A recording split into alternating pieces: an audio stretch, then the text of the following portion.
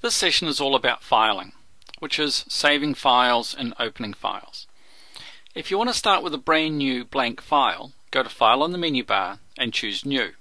Not only does this give you the opportunity to create a blank document, but it also gives you the opportunity to use a document template. A document template would have something in it that was useful to you. So for example, if you were an architect, you might have lots of walls or doors and windows in your file already. If you were a landscaper, you might have lots of plants that you use all the time. Later on in this course, we will be opening templates. I've created them for you and they contain information for you. If you've opened a file recently and you want to reopen it, you can go to File, Open Recent, and you'll see a list of 20 recently opened files. If you know where your file is stored, you can go Open and you can look for it. As you're working in Vectorworks, it's really important that you save your file. All the time you should be saving your files when you've done something useful. Vectorworks has also got something called autosave.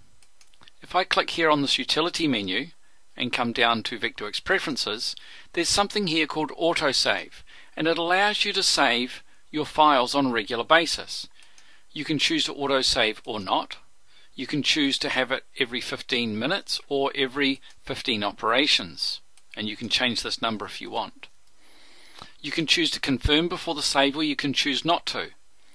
You can choose to have this in the same location or, as I do, choose a custom location and keep the last five copies. This is a great way of keeping a backup of all the work that you do. Click OK. If you're working in an office with a network, make sure you save your files where you've been instructed.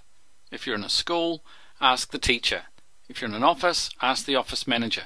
Make sure you're saving your work in the correct location so that others can see it. One of the things I find really useful is the ability to know where I got my file from.